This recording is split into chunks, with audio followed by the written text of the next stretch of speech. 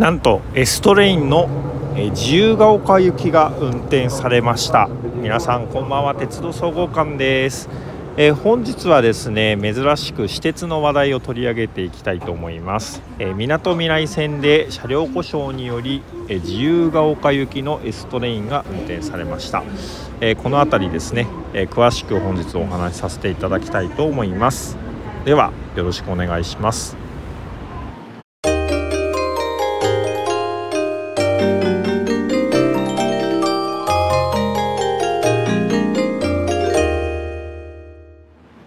2022年11月28日ですがみなとみらい線の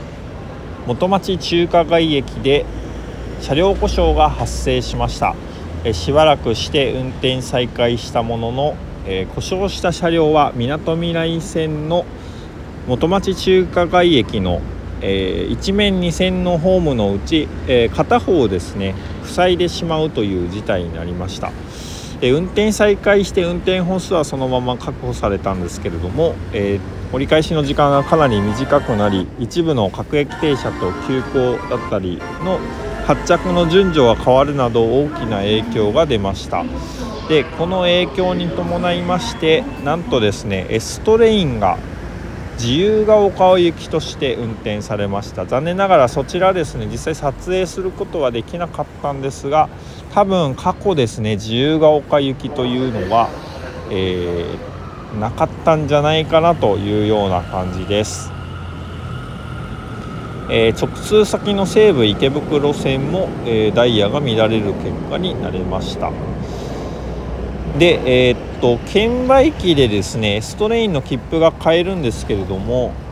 その切符の券売機のところにも、えー、自由が丘行きとなりますというような張り紙がされておりました。で、まあ、こんな状態で3月にワンマン化というような感じになりますけどさあどうなのでしょうか。でえー、っとですねあとは西武池袋線の運用情報を確認したところ新宿線で使用されていた3万 8112F が池袋線の運用に入っていたということです。そんなことあるんですね。でもしこれが来年起きると、まあ、相鉄線とかにも影響してしまうと。ちなみに東上線にも遅れが発生してまして、えー、15分前後の遅れが出ていたということです。でちなみにエストレインの自由が丘行きなんですけれども車内放送はきちんと対応していたそうです。なので、えー、自動放送で自由が丘行きですといったような案内はされていたということです。いやーかなり珍しい事態が発生しましたね、まあ、故障は本当起きないでほしいですけれども自由が丘行きというのはかなり珍しかったんじゃないでしょうか。中には YouTuber の方で、えー、自由が丘行きを撮影されてる方っていうのもいらっしゃいました。エストエインの自由が丘行きの表示はまあ個人的には初めて見ました。皆さんはいかがでしょうか？まあ故障自体はもう起きてほしくないなという感じはいたします。えー、ということで、まあ、故障した車両ですね夜には車庫に引き上げされたそうなんですけど、まあ、自走ができなくなってしまったということで、えー、ずっと片方ホームを塞いでしまっていたというのも、まあ、大きく影響が出た